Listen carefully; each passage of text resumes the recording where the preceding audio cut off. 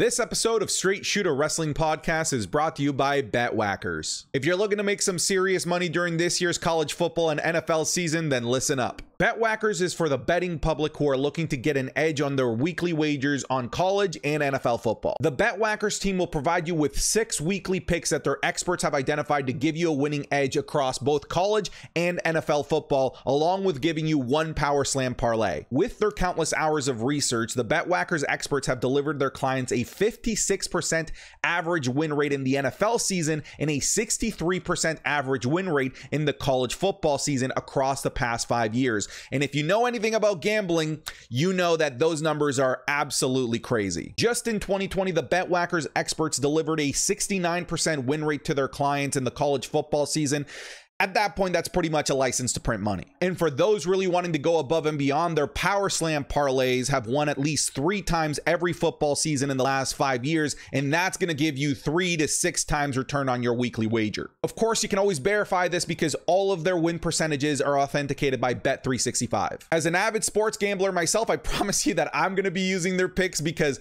why use my picks that usually deliver 10 to 15% win rates when I can lock in anywhere from 56 to 70%? Why not, right? And of course, they're providing Straight Shoot listeners with a fantastic promotion. For the first month, Straight Shoot subscribers get a discount of $75 on their membership when they use the promo code SLAM at checkout. Again, that's $75 off when you use the promo code SLAM. And that's creative because we're a wrestling podcast. Sign up by using the Straight Shoot link found on the BetWhackers website. That's www.betwhackers.com. Again, www.betwhackers.com. You will also find the direct link in the description of this video or audio podcast. Thank you very much to BetWhackers for sponsoring Straight Shooter Wrestling Podcast. And now on to the episode. Welcome everybody to Straight Shooter Wrestling Podcast. We are hot off the heels of Clash of the Castle, and once again we've got heel Kevin on the mic. How you doing, Kevin?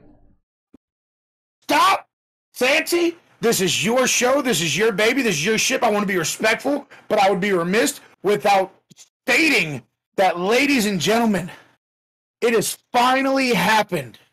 I have ascended the ladder of greatness, and I am now the only five time, five time, five time, five time. Say the last one with me, Santi, the five time special guest host of the Straight Shoot podcast. Santi. I'm doing great, man. Thanks for having me. I had to throw that out there. What a weekend in wrestling and an emotional roller coaster to say the least. Yeah, no doubt. We're gonna jump into that. And if you're an audio listener or watching here on YouTube, you may have seen that the at the very beginning of uh, the recording that uh, we have a sponsor. Please, please, please go support them. All the links will be down in the description below. Um, yeah, that's all I can say. I'm so happy to uh, have brought on uh, Betwhackers as a, a, sponsor here to Straight Shoot. All the details will, of course, have been at the very beginning of uh, of the video, and everything will be down in the description uh, of this video and, and all of of the audio feeds, whether you're listening on Apple Podcasts, Spotify, or any podcast services around the globe. Uh, before we jump in, if you're watching on YouTube, make sure to leave this a like. If you're enjoying our podcast, make sure to subscribe. Uh, if you're listening on audio services, uh, consider finding whatever method there is to leave a review. I know on Spotify you can leave five stars, five stars, five stars. I, am not going to go through the whole thing. Kevin already kind of uh, beat that drum to death, but just see where you're able to leave any sort of reviews. It really helps us out tremendously. But let's jump into some wrestling, folks folks. Um, Clash at the Castle, Kevin. We're not going to go into a full detail match by match review, um, but uh, give me your one word review for it. What comes to mind when I say, Kevin, what did you think of Clash at the Castle? Give me two words, and I'm going to say active crowd. Hmm.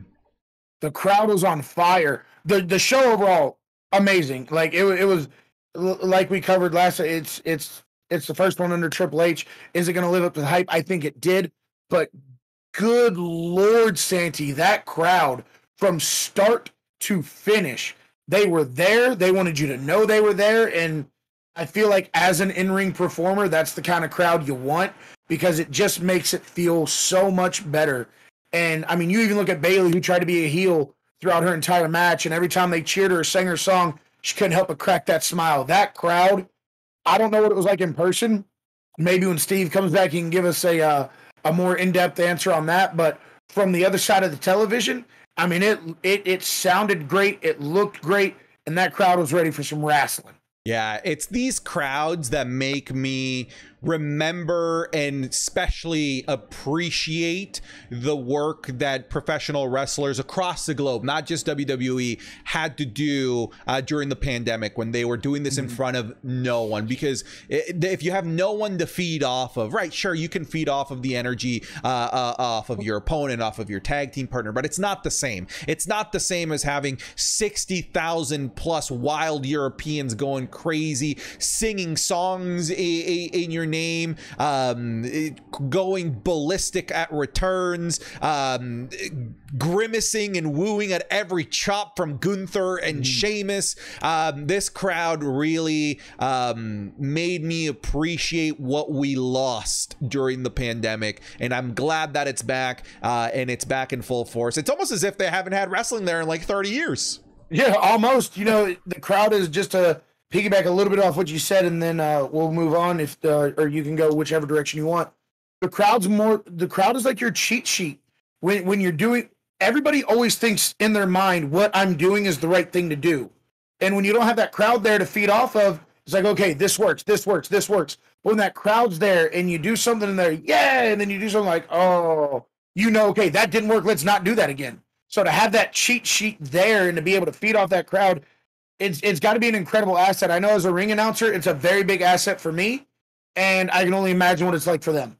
Yeah, you know what? As a um, as a well-known internet Cena lover that I am, um, this will always be my argument. He's one of the few people that will get a reaction out of everybody right? Absolutely. if if you if you there's very few people like that right? Like you you think back of um, austin's a special example because everybody cheered for austin uh, mm-hmm. but you think of like the rock. There wasn't anyone quiet when the rock was out. It was either let's go rocky rocky sucks right? Yeah. Or when he was Rocky Maivia, die Rocky die. He was always getting a reaction, right? Um, yeah. Same with Cena, right? Like when people always say that Cena should have gone heel. Cena was the biggest heel of the 2000s. People just don't know it. There, name yeah. me a wrestling su- a superstar that got more boos and more chance to get out of the building than John Cena throughout the 2000s. Cena was the biggest heel of the 2000s, and it was the crowd that made him that. I always make the argument that because he wasn't a heel, it made him a heel because the crowd wants you to go heel. The crowd wants you to do this.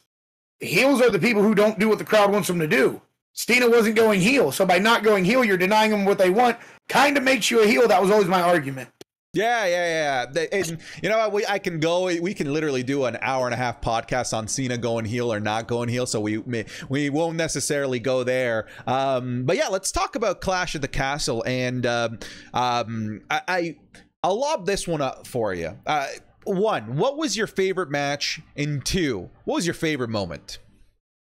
So my favorite match um is kind of a it I'm gonna give the slight edge to Matt Riddle and Seth because of the build they had, mm-hmm. because of everything that went into that match.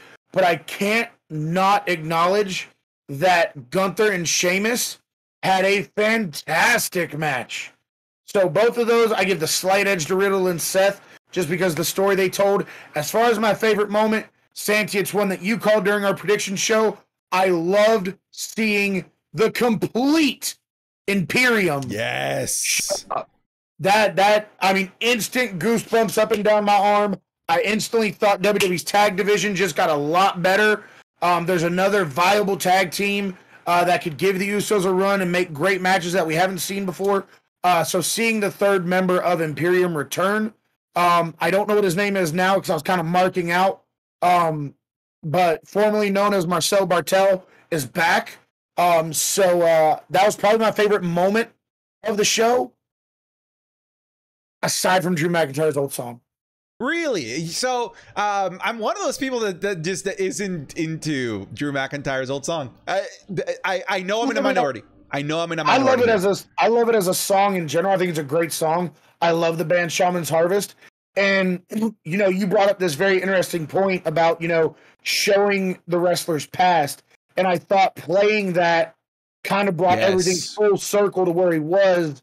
And it I love the song, but I feel like the song played a key point in a bigger picture. I agree. I agree. It was that full circle of, hey, we are acknowledging the journey that was Drew McIntyre. We know that he he wasn't always this death machine carrying around the sword always in the main yeah. event. There was there were struggles, and those struggles have finally come to crescendo here um, at uh, Clash of the Castle, and arguably his biggest match of all time. Um, I'm mm-hmm. not even going to say arguably. I would say even the match against Brock Lesnar because there was no audience. This was Drew McIntyre's biggest biggest match of all time, in my personal opinion. Uh, but yeah, but for me, um, I, I'm with you. The the unification of Imperium was my Gatorade hype moment, 2022, as I like to call them. Um, I got hype, and it was partly hype because one, I love being right, uh, because it was one of those checklists like, oh, I would love to see this, and for them to actually do it and pull the trigger, it was just one of those things that made sense, right? It didn't yes. make sense that they broke up Imperium, uh, and Triple H is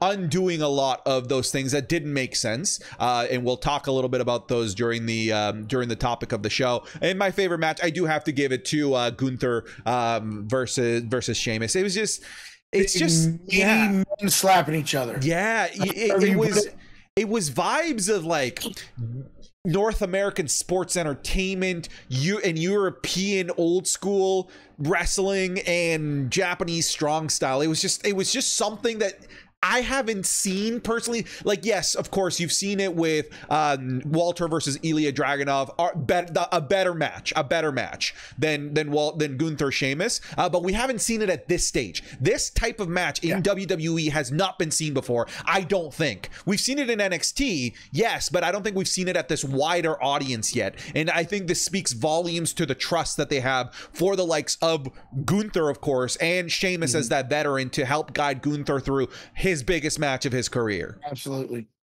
Yeah. Um, it, just like you said, it, it, it gave me very much similar vibes of a very close, snug, strong style type match, an, an old match that would stand the test of time against the likes of Harley Race and guys like that, but still had that sprinkle of sports entertainment to top it off. It, it was very, very entertaining. The show as a whole was very, very entertaining, and I loved every second of it. Yeah, before we move on to topic of the show, let's talk about um, that main event because there's a couple of things. You know, you and I were going back and forth about a a an involvement from um, from A Town downtown. Uh, I don't know if they've given him his first name back yet. Austin Theory, they have. Okay, okay. Um, we, we joke about it on Monday. He said, "You found your first name again." ah, that's right. That's right. Uh, we had the involved the. I, I guess the right word isn't the debut uh, the the main roster call up of of Solo Sikoa, and then what I called in my live stream, as I said, you know what, this is a potential to potentially ruin this main event. The involvement of Tyson Fury.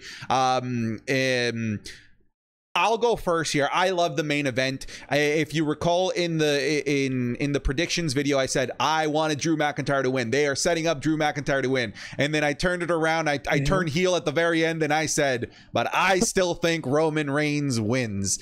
I I had a feeling WWE is still not comfortable taking the titles off of Roman Reigns. They they they they feel like they still have something uh, lightning in a bottle that they don't want to unleash just yet, and and I'm I'm okay with it. Um, I almost wish that this event wasn't in Cardiff and it wasn't Drew McIntyre because I do think that McIntyre this was the perfect place and the perfect venue for him to finally win the big one. It's mm-hmm. just I almost don't feel like it was fair to him to put him against Roman Reigns because it, I still don't think it was the right time to take the titles off of Roman. I think it was the right call. It's just a shame that it was at the expense of Drew McIntyre in front of that hot crowd. No, I completely agree and um I tend not to entertain the dirt sheets and the rumors because there's so many of them. Um, but there was one that I seen where uh, apparently there was a conversation between Triple H and Vince when Triple H did step into that creative role where he gave where he made Vince the promise that he wouldn't remove the titles from Roman until after WrestleMania. How true that is, I don't know. But like you said, if it was going to come off Roman, the stars were in perfect line for this one. Like everything was perfect for this one. Um, but I'm so angry at Tyson Fury. He ruined my he ruined my uh my prediction. and I thought it was going to happen. I heard his music, and then Tyson Fury had to get involved. Yep. I, I think it would have been better had they let him cash. I think they should have. Yeah. Yeah, I, I, I was not a big fan, and it you know what like okay, main event was good. There are some things that we weren't particularly huge fans of. Mm-hmm. Um, let's move on to let's talk about Tyson Fury. Um, I was cringing and very uncomfortable and did not enjoy the ending sequence with the singing. This is this is perfect stuff to do when when things go off the air. Send the crowd yes. home happy, you know, do the goofy song and dance wrestling. This happens for those that haven't been to a house show. This shit happens at house shows all the time. Um, not necessarily singing, but like silly, goofy stuff that you wouldn't necessarily see on TV. Um, this is silly, goofy shit that shouldn't have happened on TV. I'm like, all right, guys, we just had um potentially the most heart-stopping match um, with the biggest stakes since the start of the pandemic. Mm-hmm. And and it should have ended at the very least. The broadcast should have ended with a rousing ovation for Drew McIntyre as he got up as the defeated warrior. Instead, the lasting image that we had was that giant goon Tyson Fury singing "Sweet Caroline" or whatever the hell it was. Um, no, it was he. It was something else that he sang. I, and, and, look, I get. I'm a boxing fan, and there were a lot of people in the live stream being like, "Well, clearly you don't watch boxing. He does this after every match." Fuckers, I know, I know, but like, it's it's not. That's not the point. I I understand that it's to character to Tyson Fury, but Tyson Fury is not a part of weekly programming. He should not be the one closing the show for us. He should not be sharing the spotlight with the one guy who just went to war and had the the longest reigning universal champion pinned. That should have been a rousing standing ovation for drew mcintyre. Cut to black. Live stream ends. Then you do the goofy shenanigans to send the crowd home happy. That's my opinion. I did not like the way that they ended the show and ended the broadcast. Yeah i um i spoke to uh lana who is a tiktoker from ireland. She was actually there with steve I was on one of her lives today, and um, she had made the comment that that's exactly what it felt like in the arenas. When he got in and started singing, everybody kind of looked at each other like, uh, um, and then people started joining in. So I, I completely agree. I, I, I said it when I was live on Twitch that why is this happening? What's going on? I will admit, when I found out what song he was singing, I kind of was like, okay, they're in the UK this is the Beatles. It is what it is. And I kind of bought into it a little bit. But in the beginning, it was very, very cringy to say the least. Um, I don't think, I mean, you said it best. I don't think in that moment Drew McIntyre needed to share the spotlight with anybody. If there was any time for him to be selfish, it was that moment and drink it in and take everything for what it has. Because if, if, if, if history or if the future is anything like the history was, he's not going to have that shot for another 30 years. Exactly. Yeah. So uh, I, again, I think at that point, I, am just being um, um, I myself am probably being a cringy wrestling fan. Like you know, like I want it this way. Why can't I have it that way? Um, but you know, um, that's that's what happens when you give a wrestling fan a mic, right? You you you you, you give them a platform to to to voice their displeasures, and I'm gonna voice my displeasures, and that was one of them. But hell that was still you know that was still a, a, a, a plus show. It was fantastic from start to finish. I love the fact that uh, no match was under 10 minutes kevin. Everyone yeah. got a chance to work from the tag teams um, in, in, the pre-show all the way to to the multi-women matches to the singles matches. Everyone got a chance to shine. that good? Not trying to cut you off. When's the last time we had a pre-show that good? Exactly. that pre-show really set the pace and I was like, guys, we know you're used to seeing a certain product. Shit's about to change. Yeah, yeah. The the the show just felt different from a lot of WWE pay per views. Um, it, it, was like they they left the the entertainment aspect of sports entertainment to the showmanship and the production, the staging, mm. the pyro, all that stuff. Um, and and it wasn't you know zombies around the ring for a lumberjack match. It wasn't silly promos. Uh, it wasn't the new day with water guns. It was hey you paid to watch these guys and gals go at it for the next four hours. That is what we are going to give you. Um, and uh, you know, I, I I don't I, I don't think that the show necessarily could have been better. I think that it was it was as good as it possibly could have been at this point. Um, and you know what? That seems to be a common trope right now. We're gonna transition into the topic of the show. Kevin, I don't know if you've noticed yet, but I am a master of transitions, and this is another example. The Clash at the Castle was so good. SummerSlam was so good. Monday Night Raws are getting great reviews from everyone. Friday Night SmackDowns are getting great title defenses from the likes of of Gunther, it feels different than it did just as recently as a month and a half ago. It feels like if you look back at the WWE at the beginning of the year, I- am going to give them a pass through the through the Thunderdome era because I think every wrestling company was kind of in a bit of the doldrums throughout that. Yeah, just figure it out. Yeah, yeah, yeah. So you know, growing pains, you give them the pass. You know, they were giving us mm-hmm. the entertainment in a time where it was really hard to enter to be able to provide entertainment. But since fans started returning back, the sentiment around the WWE seemed very dire. You know, people were yes. still getting released left, right, and center. Um, talent seemed to be very um, uh, lethargic with their bookings, very um, uh, non. They're they're in there to do the job that they're supposed to do. It almost seemed like a lot of the the guys and girls there weren't loving the job that they were doing as they used to before. Going through the motions. Going through the motions. Thank you.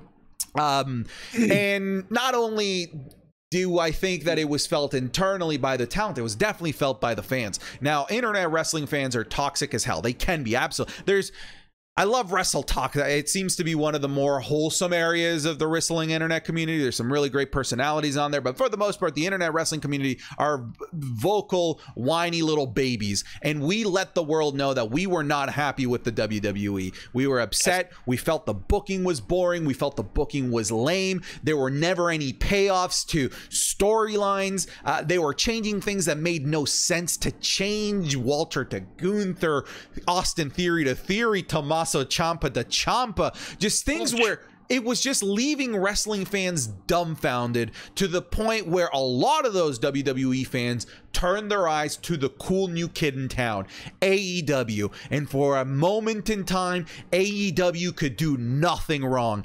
Everything mm-hmm. they were doing was banger after banger after banger, debuts left, right, and center. Uh, they were the buzz of the wrestling town. And it seems, Kevin, and this is our topic of the show, that the tides have turned. The fortunes have flipped upside down. And it seems like now the the the, the cool kid on the block is back to being the WWE and AEW, although I'm in my opinion, are still producing a wonderful product now isn't this shiny, wonderful new toy for wrestling fans. And now a, a, lot of the focus isn't just on their their great booking and great work. It's now on their backstage politics. So now we've got like this upside down flip where the WWE can do no wrong, and AEW, everyone fucking hates CM Punk, Tony Khan. What the fuck are the Young Bucks doing? What is going on here? Too much talent, the roster's too bloated. All these complaints that weren't there a year ago from fans now all of a sudden are surfacing. And that's what we're going to be mm-hmm. talking about today. Let's break this down because I've gone here on a little bit of a tangent setting up our setting up our topic here. Um, Kevin, if if you had to go back in time and mm-hmm. you were to tell your one one year ago self the current state of the wrestling business, do you think that one year ago Kevin heel Kevin would believe you? I don't think so, especially if if if one one year, if we're just talking simply one year, not five years, talking one year, if you would have told me that uh the Wall Street Journal was going to get Vince McMahon out of wrestling, I wouldn't have believed you for a second.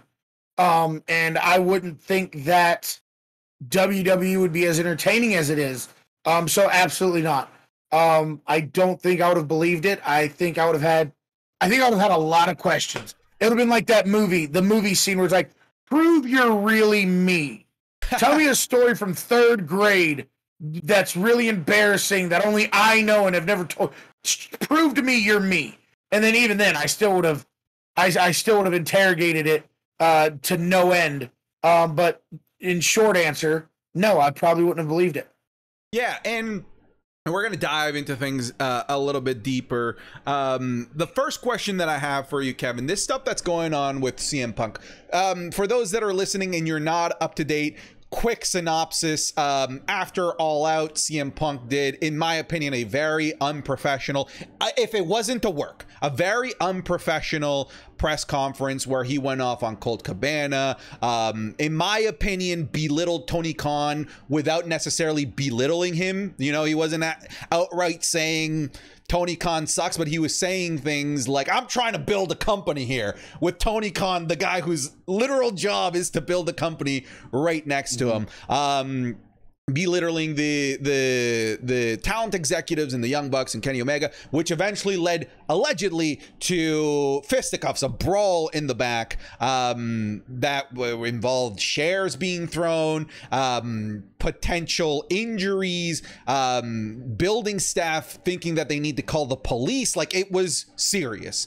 Um, yes. first and foremost kevin is this a work or is this not a work? I don't think it's a work. I don't think not it's a work either um, now you you um have not been able to see tonight's episode of Dynamite. Uh, for anybody who doesn't know, this is recorded right after uh, Dynamite. I was able to watch it. Um, and for if you haven't, uh, like Santi said, I also believe it was very unprofessional. Uh, CM Punk started the interview um, unprovoked about Colt Cabana. Um, just immediately started talking about Colt Cabana. Talked about Colt's mother uh, talked about Colt, called Adam Hangman Page an empty, uh, dumb, empty headed other words. Um, talked about the EVPs not being fit to manage a target. Um, and kind of made it all about him and continued to down talk all of them. And what really stood out to me, Santi, is that um, did you watch the the media scrum? I did, yes. Okay, so what really stood out to me was Tony Khan had numerous times where he could have put a stop to this. As soon as it started, hey, we're going to talk about the show. We're going to talk about All Out. We're going to talk about the future of the championship and stuff like that. He didn't do that. Aside from that, what he did do was he nodded in agreement and he added to CM Punk's rant. Therefore, to me, that tells me he endorses everything this man is doing. And if I'm a younger talent within AEW, a guy like Ricky Starks, a guy like Hook, maybe um, a private party or, or somewhere around there. I'm like, wow. Mm-hmm. If if Tony Khan's gonna let CM Punk talk like this about the EVPs, what's he gonna let him do to me? Like, what is he gonna let him say about me? So I thought it was very unprofessional. I think Tony had plenty of time to stop it, and he didn't do it. And it, you know, you the old saying down here in the South, your chickens come home to roost, and he's roosting a lot of eggs right now. Uh, Punk would then leave uh, the commentary table, um, and then go back to his locker room where his dog and Ace Steel's wife was. The Young Bucks apparently barged into the locker room. CM Punk struck Matt. Ace Steel hit Nick with a chair and then bit the face of Kenny Omega. Um, and it led to like this big all out brawl. Now, all of this could be a work. Um, but what tells me it's not is one using Colt Cabana's real name and bringing his mother into it two people that are very well documented that they don't like each other. They haven't spoken in in in years, close to a decade, if you believe what CM Punk says. Um, I don't think that they would have been on the same page to work something together because where's the payoff between him and Colt? They don't want to work together. They don't want to wrestle each other. Where's the payoff at? There's, in my opinion, there's not one. And then you fast forward to tonight's Dynamite, both the trios titles, Kenny Omega and the Young Bucks, and the AEW World title were stripped. Both all champions involved were stripped of their titles. We have new uh new um trios tag champions. There is a current tournament going on right now to crown a new AEW champion.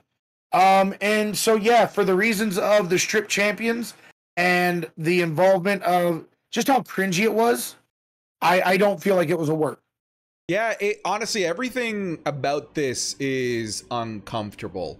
Um, you know, like you know, you hear even in the in in the worst of days in the WWE, this didn't happen, right? A a talent. Um, I don't. I don't want to use the term "going to business for himself" because that almost sounds like a wrestling term that could be a work. Um, but like outright insubordinate of the entire organization and and burying the organization. I, I don't think I've personally seen that on live WWE television or anything um, WWE related. Um, this, this this was new territory for me and I did not mm-hmm. enjoy it. I you know, like I think they're oh, that's CM Punk with a pipe bomb. No, no, no, no, no. We can't encourage this type of shit by calling it a pipe bomb. We can't no. we can't be happy that, you know, oh, you know what, really sticking it to the man. No, this this is a bitter man. This is a bitter man that aired grievances that should not have been aired to fans and to reporters mm-hmm. absolutely in no there this is not welcomed in any way shape or form. To the point where i'm going to say this kevin in the 1% chance that this is a work i fucking hate it. I still don't like it. I very still don't like it. Very distasteful. Um yeah i i believe that i understand that fans nowadays to and, and myself included i, I want to be that that percentage of fans that really wants to be surprised. I I understand that the internet is a thing. I understand that the Twitter machine is a thing and stuff gets leaked. Uh, my good friend AJ uh, went back to WWE and it was supposed to be this big surprise to end up getting leaked. I understand this happens all the time. I am in the majority of fans that want to be surprised.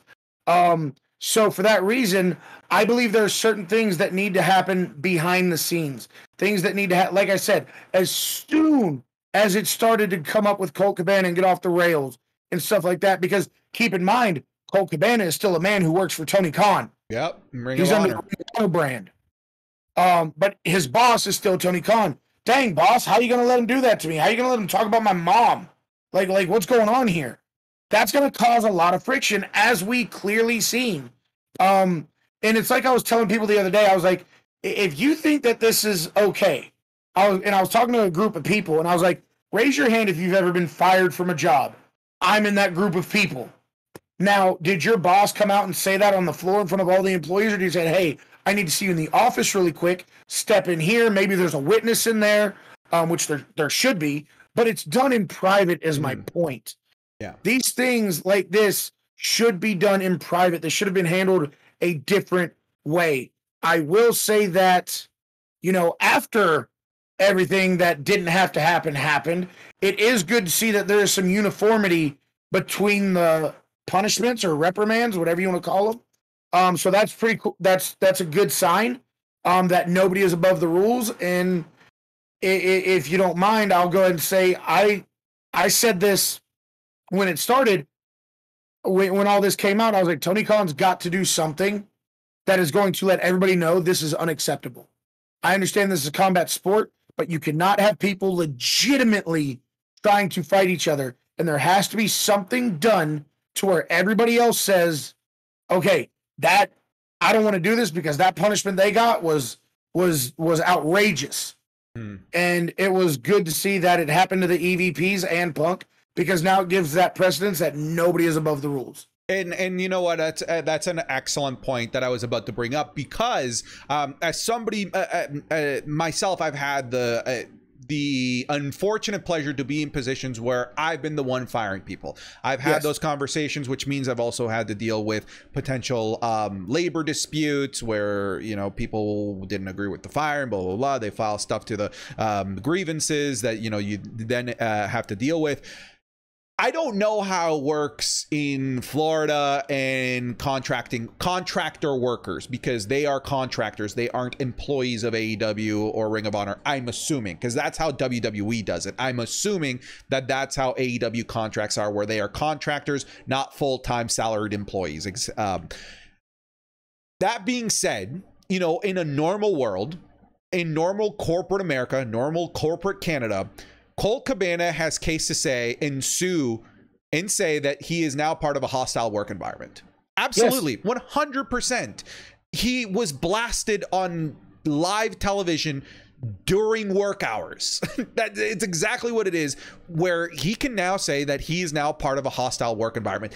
And again, the right steps need to be taken in order to show the Colt Cabana, hey, we're taking the right steps to ensure that shit like this never happens again. And I do believe that, you know, for all the crap Tony Khan gets on the internet, this was the right move um, in order to demonstrate to the AEW locker room I'm still in charge. It, it if because for the last little bit, Kevin, and, and this was a, a, quote from from Steve, so I don't want to. Uh, he he's the king of whining of like you stole that from me. Steve, you said this. So if you're listening to this, Steve said this is what happens when you let the inmates run the asylum, right? This is what happens when you let the inmates run the asylum. So I like that Tony Khan stepped up, provided punishments to let the roster know and remember this isn't being run by the inmates. This is not an asylum. This is a wrestling company, and I'm the CEO of this place, and I'm going to put my foot down to ensure shit like this doesn't happen again, or at the very least, discourage it. I think it starts with you know your EVPs can't be in ring talent. I think there's a very fine line there that has to separate the two. Um, personally, we don't know everything that's come out about the punishment, but personally, what we do know, I feel is too light. Um, I'm the type of person, and I I know I'll probably get some heat for this. I'm the type of person that when something like this happens, this is the first time it's happened. There needs to be such an outrageous and over the top punishment that nobody ever wants to come close to this line again. Somebody asked me today, Kevin, well, what would you have done? And honestly, for me, if I were in that position, I had to make the decision. This is what I said I would do. Number one, everybody is suspended pending an investigation. The investigation is going to reveal who who started the altercation. That person's automatically fired. Whoever started it, that's fired. Everybody else is suspended. All champions stripped. Um, you cannot compete for a championship within the next 12 months. When you come back from your suspension, you owe the entire locker room an apology. And everybody that was involved, 10% of your wages for the year are now going towards fines. Because I understand Brandon Cutler doesn't make the same as CM Punk. I understand that everybody's on different pay scales. So 10% across the board, 15% across the board, you're all getting fined, you're all getting suspended, you're all getting stripped. You have to set that in, like you said, because then it shows good faith to the roster, right? If you do things like this, if you decide, oh, I've got an open microphone, I can say what I want, eh, you could try. Look what happened to the other ones. You have to set that clear line that this is not going to be tolerated. And I think Tony is working the steps toward that.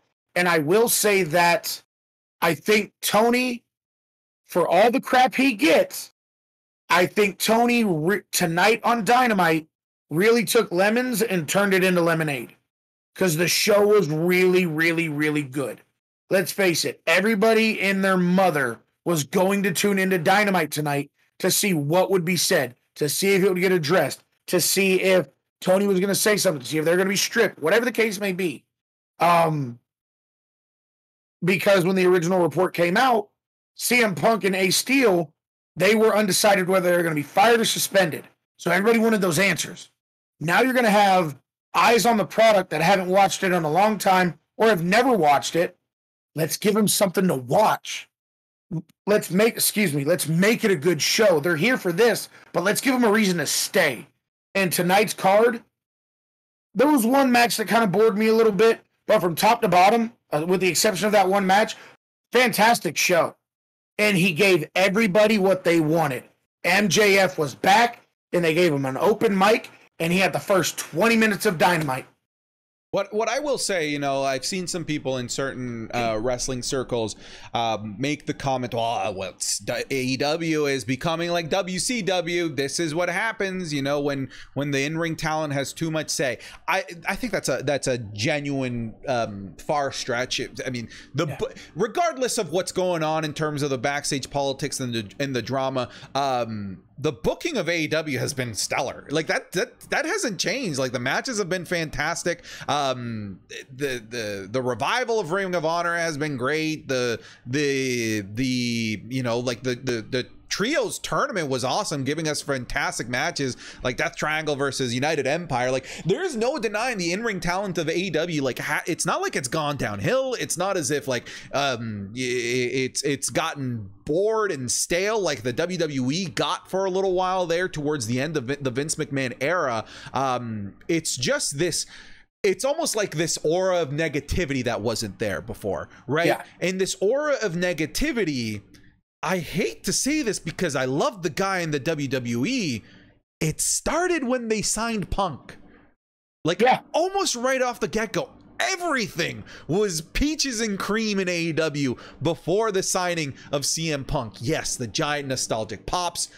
People love the fact that CM Punk was back. I saw some people fucking crying. I I don't get why you cry over CM Punk. I don't think he's the he's the end all be all, but I get it. You know, you're a passionate wrestling fan.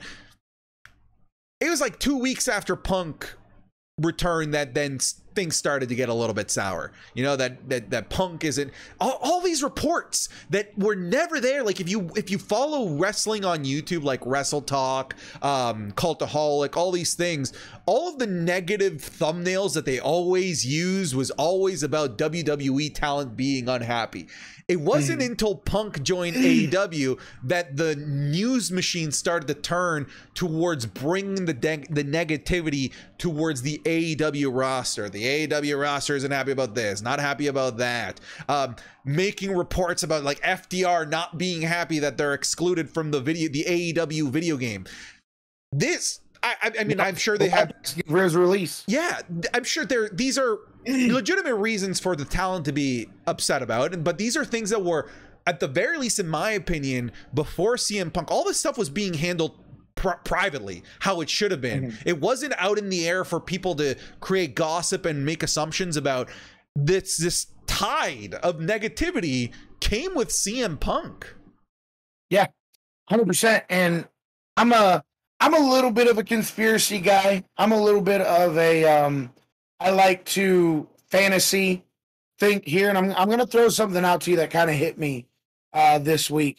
And I'm just going to preface this by saying for anybody watching this is a what if scenario and I want to pitch this to Santi.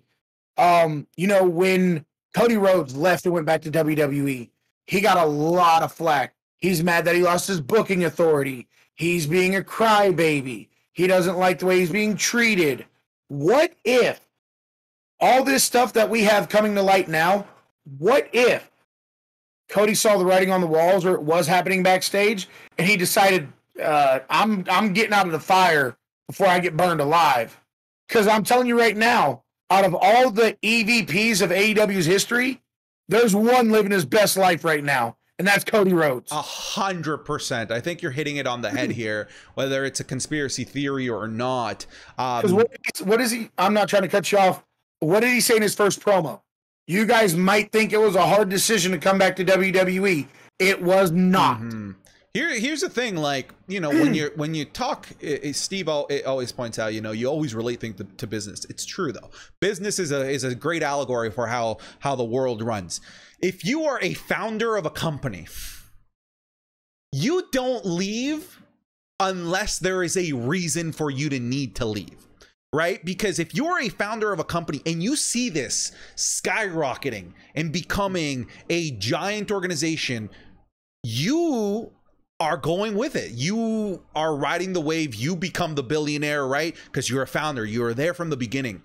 For a founder to make the decision to walk away from that opportunity is actually says and, and not just a thousand words an entire encyclopedia of words as to what may have been potentially wrong with AEW because no one would know more than one of the founding members of AEW in Cody Rhodes. For him to go back knowing he was going to get flack from fans, knowing he was going to get flack from AEW fans, knowing that people were going to paint a picture as to why he was leaving, for him to still pull the trigger and decide to leave something that he created that he that could have potentially set him for the rest of his life had he mm-hmm. stuck with it and had it con- like grown to wor- wor- other worldly status like it, it's not crazy to assume that one of the founders like cody rhodes could end up potentially being a billionaire. It, like again i'm just I'm, I'm saying you know aew 10 15 years from now maybe becoming I mean,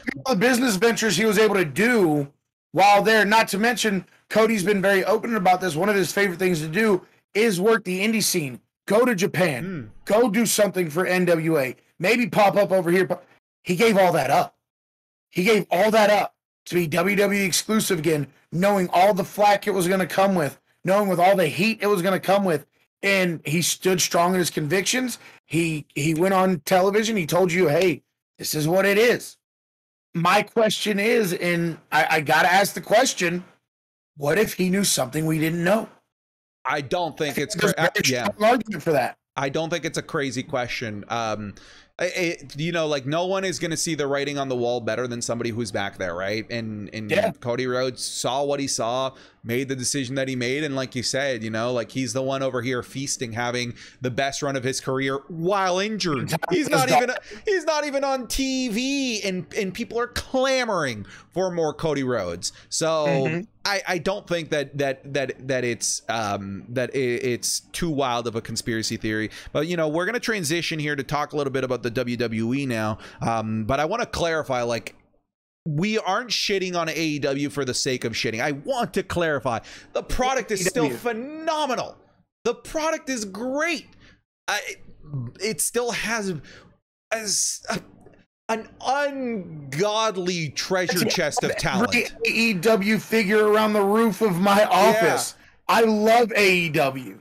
We- We're just we're addressing the elephants in the room. I am a fan of wrestling in general. Um, so no, I, I agree with Santi. We're not shitting on it just to shit on it. We we're talking about things that the entire wrestling community is talking about and giving our thoughts and opinions on it. But just to be clear, I love WWE. I love AEW. I love wrestling. Yeah, and you know what? At the end of the day, this just may be the growing pains of a at at the end of the day, this is a startup. This is a startup company. A startup has growing pains, whether you are a startup tech company, a startup mom and pop gym, a startup wrestling company, you're going to have growing pains. And this may just be their big hurdle as they move to the next step of growing a wrestling organization. We this What- might just be water under the bridge within a couple of weeks and may not even be a worthy talking point anymore. And I hope that's what ends up becoming. Absolutely, but you know, going back to something you said in the beginning of the show, just to add my little my last touch on this topic before we switch. Um, everybody's always said Tony Khan needs to be more of an owner. He needs to be more of a boss. He needs to be in more control. He just stripped his world champion and his three EVPs of their titles to show people this is who I am and rules will be followed. So, like you said, maybe this was the growing pain he needed to see okay i've been a little bit too chillaxed lately let's let's let's every step forward now we're going to make sure there's a clear line and here's where it's at Yeah. And uh, one last thing here. Uh, first of all, CM Punk, as a former manager at a Target, fuck you. It's very difficult to run a Target, okay? There's a lot of moving parts, you motherfucker. All right, I don't want to hear that. I don't want Target to be used as the as the lowest common denominator. oh i just you got a that was a genuine pop i had no idea you worked at a target that was a genuine pop oh man, yeah, it was a lifetime ago, but it, you know that one still hit home. That one still hit home, Punk. that Uh, was awesome WWE. All right. So, um, you know, we talked about how AEW was the darling of the wrestling community. They Yes. could do nothing wrong. Their shit smelled beautiful, right? Anything that they did was a five star match, Kevin. You know, PAC breathes on Kenny Omega. Oh my God, it's a 7.25 match on Wrestling Observer. That's how good AEW was. WWE, opposite, right? Like they were, they were I would say pre. Uh, let's call it. Let's talk after this year's Mania. Let's not go too far back. Um, I would say that one of the few highlights of the WrestleMania and beyond was just Cody Rhodes versus Seth Rollins. I don't think that there was much to be excited about within the WWE aside from Cody Rhodes and Seth Rollins. Yeah, RK Bro was doing some fun stuff. Um, the Usos, the uh, the the Bloodline as a whole, but for the most part, wrestling WWE fans um, wanted more. They were tired. They did not like some of the changes that um, old man Vince McMahon was doing. Uh, You know, I've already mentioned a couple of these. Uh, Tommaso Ciampa to Ciampa. Why are we that dumb? Do you not think that we can remember two fucking names, Vince? Um, Austin Theory to Theory. Um, Goon, Walter to Goon. Just things that didn't make any sense. That just were little nitpicks and gripes that just kept piling up and piling up and piling up to the point where people were just fucking sick and tired of the WWE. Um, and then the bomb was dropped. The Vince Mc the uh, a Vince McMahon sized nuclear bomb was dropped on point six million dollar bomb. Yeah, eh, on not just the WWE, really the wrestling world. This is probably the biggest thing that's happened in professional wrestling since I've been a fan. The dismissal, we don't call it dismissal, but more pretty. Let's face it, it pretty much is the dismissal of Vince McMahon, most likely decided by the board of directors um, and, and shareholders of the WWE. The removal of Vince McMahon as the CEO um, a lot of people, myself included, were excited about this. I was excited about this because it meant change. It meant something different. But I was also scared. You know, like the WWE has been a ship that's been running on the back of Vince McMahon for the better part of like 50 years. All right. Yeah. This, we are in uncharted waters and uncharted territory. I'm scared mm-hmm. and I'm excited. And I'm happy to say that that excitedness ended up getting paid off with some of the most exciting times in the WWE. WWE is now the kid in town that can do no wrong. Everybody is getting TV time quality TV time too. Storylines are getting payoffs things that were silly in the Vince McMahon era are getting reversed and getting put back into into course. SummerSlam was fantastic. Clash at the Castle was fantastic. Even though Roman Reigns isn't going to be at Extreme Rules, I'm pumped for whatever the hell they're going to do at Extreme Rules. To it, the NXT show yes, awesome. Yeah, Ke- Kevin, and uh, I have not been excited for an Extreme Rules since it was actually Extreme Rules with uh, you know uh, Extreme Rules yeah. ECW one night stand whatever um, because Extreme Rules has been a joke. It's been silly. It's been mostly silly gimmick wrestling, an eye for mm-hmm. an eye match or uh, the the the bog match between um, Wyatt and, and Braun Strowman. Yeah. I think it's possible that we get a proper Extreme Rules, extreme matches under Triple H and somebody bleeds. Hey, you know what? It's possible. Ah, the thing is, it's funny because like if if somebody bleeds in the WWE, it's like hold up, stop the presses. This is the greatest thing that's ever happened, and it happens on AEW every other match. So you're like, ah, you know, Jon oh, Jon Moxley bleeding five pints of blood. What else is new, right? Yeah. So like, it's just funny to, to to think of like that difference between the two. But um, to to get back on, on course here, you know, um, we've got complete reversals here, Kevin. We no, 100%. 100% reversals. When when you told me the topic of the show, it really made me look back because there were two stats that I had written down. Um, because I we discussed this stuff a lot. Um, and there were two things that I wanted to keep track of and, and see if you noticed or or see if you can recall. Um, the first of which is one of the final episodes of Raw before the Wall Street Journal decided to turn wrestling on its head. Um, I actually recorded, I had a stopwatch here with me, and I recorded how much time in a three hour episode of Raw is actually spent wrestling. I'm not talking backstage vignettes. I'm not talking commercials. I'm not talking plugs to other stuff. I'm talking bell to bell wrestling. In three hours, Santi, it was 16 and a half minutes. Wow. 16 and a half minutes. On top of that, we all remember the Queen of the Ring tournament. It would crown Queen Zelina Vega. I timed every single one of those matches from start to final when when Zelina when the final bell rang and Zelina won. That entire tournament, every round of the tournament was less time than two Roman Reigns entrances. Wow. The, series listening to me. um the entire tournament, man. The entire tournament. That now that's just from bell to bell. That doesn't count entrances or anything like that. Um, but that is that is very sad to say. You you say you want to focus on women's wrestling, you want to bring women's wrestling to the forefront. You have this amazing opportunity, and this happens. Now we transition over here to um, uh, Clash at the Castle. As you pointed out, no match was less than ten minutes. Every match made sense. It was structured well. It fit. It was awesome. I watched Raw this past week, and the first two hours gone. It was structured. The matches made sense. Everything had a purpose. It was like the old lesson we learned when we are kids, right? And we're learning to clean our rooms. Everything has a place and everything's in its place. or there's a place for everything and everything's in its place. And that's kind of how it feels right now. It feels like a well oiled machine that we all knew WWE could be. It just wasn't being utilized right. And I absolutely love it. And one thing that I'm really excited about, what got me excited about World or not Worlds Collide, but Extreme Rules. I'm going to see if you caught this when they did the promo for Extreme Rules. Who was narrating it? Paul Heyman.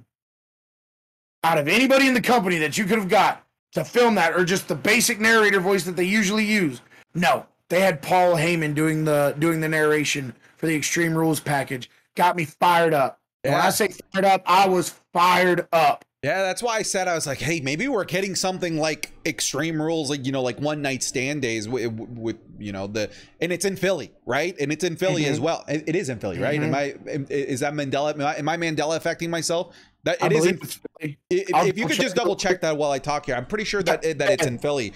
Um, either way, What's interesting here in terms of the difference between AEW and WWE is that I think it's fair to say that we diagnosed that the problem with WWE was purely bad booking.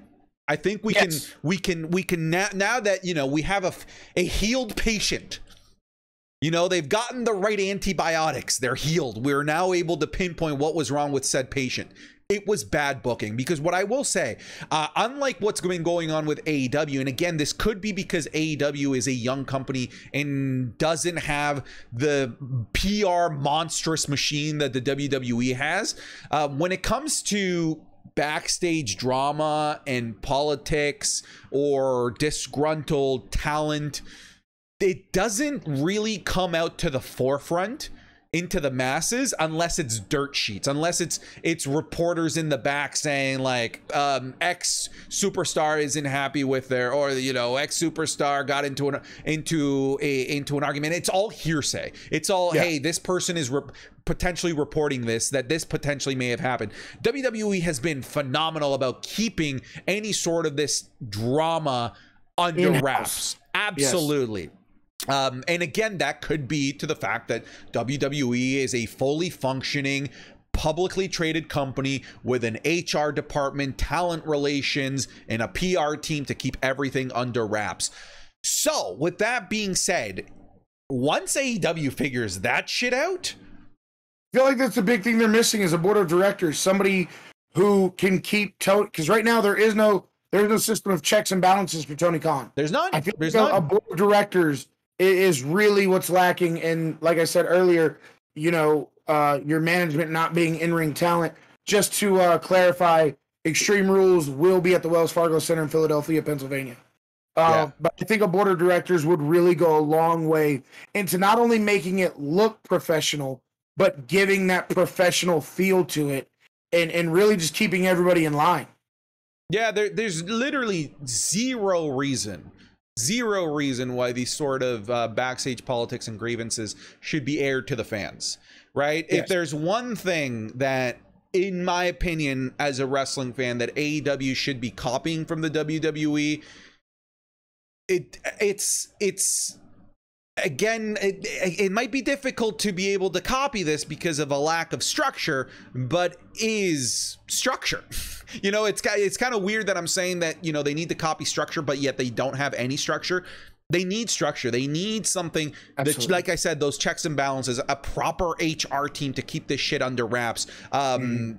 PR to ensure that, you know, maybe you don't put CM Punk, who is hopped up on adrenaline from being in a match, who has clearly been upset within um, in the company. Maybe you don't put him in front of reporters, or maybe you. Here's a fucking brilliant one, Kevin. Maybe you vet what these reporters are going to ask, and you make sure that they don't ask anything about Colt Cabana to ensure that CM Punk doesn't get set off. That's the thing. That didn't happen. Oh, I thought the first one, the first original question was asking about Colt Cabana, and then the nope. next one wasn't, but yet he brought it back to Colt Cabana. No, no, no, no, no. The the the reporter that was standing there, CM Punk knew him and he knew he did improv. Oh, yes, said, that's right. Yes. He improv. And he knew he did improv with Colt Cabana. He was like, oh. Who do you do improv with? And he was like, Scott Colt. He was like, Are you friends with him? He Punk egged that on. Yes, a you were hmm. right, a hundred percent, a hundred percent. One thing I'll add to your one thing I'll add to that before I lose it. Um, AEW's got to stop taking shots at WWE every single freaking. I week. agree. I agree. It's Once petty. again, It's silly. It's like, okay, you want a microphone in your hand? Here's a checklist. Can you can you speak? Can you articulate? Can you take shots at WWE? Those are their three point checklists when you have a microphone in your hand. And it was cool the first two weeks. It's it's just cringy now.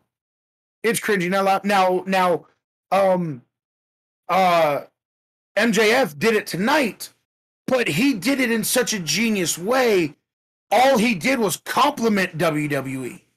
He mentioned WWE. He mentioned Triple H. He mentioned all these things. He mentioned Nick Khan, but he complimented them. Yes, it was his smart, arrogant, tactic way of you know being MJF. But every when you look at just what he, if I wrote his promo down on a piece of paper and handed it to you, you'd be like, wow, they're really complimenting WWE with all of this. now his tones and his inflections lead you to believe otherwise, but just the verbiage he used, every bit of it was a compliment.